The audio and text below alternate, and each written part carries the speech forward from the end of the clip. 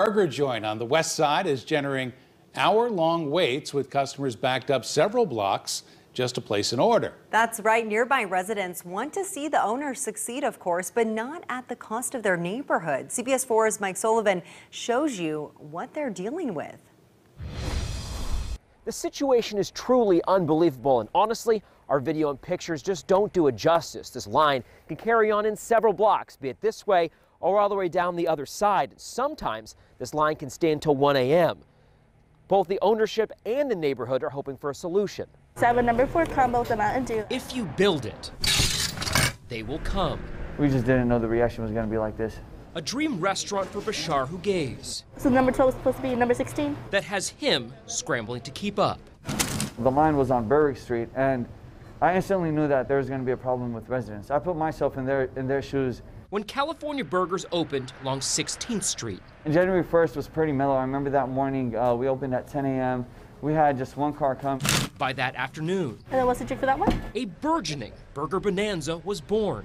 We get here at 9 a.m. and there's already a car. There's already cars lined up. Customers waiting one, two, three hours for a taste.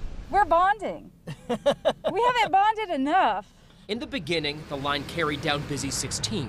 There's all these ongoing cars, and at any given moment, I was so scared of just anybody getting hit. One morning, the car switched to Berwick, spanning block after block. The situation is done got really, really bad up here. It's, it's going to get badder. Andy Anderson lives here.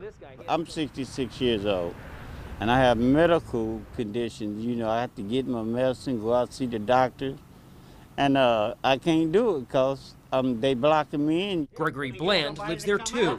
Has had customers who can't hold it go in the bathroom on his property. This is a school bus street. They pick up little kids. IMPD says the restaurant is working with their Northwest District on a solution. If you see a long line now, number 19, just a burger, they ask you to come back later. I'm outside handing out menus, just trying to tell people, you know, do not block the driveways, don't block fire hydrants. Just think about how good it will taste. Our patties are never frozen, they're fresh daily. If you just wait a little longer. California Burger stays open until 11 p.m. However, given how long these lines can be, they will serve anyone that is in line at 11 p.m. That does mean some of their workers might be working into the wee hours to get them their burgers. On the west side, I'm Mike Sullivan, CBS 4 News.